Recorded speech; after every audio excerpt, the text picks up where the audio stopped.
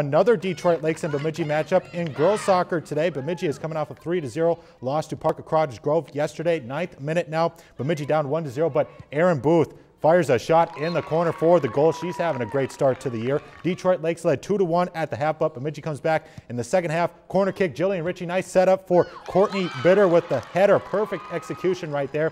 Aaron Booth scored the go-ahead goal with about 10 minutes to go. Bemidji gets the victory, winning by a final score of 3 to 2.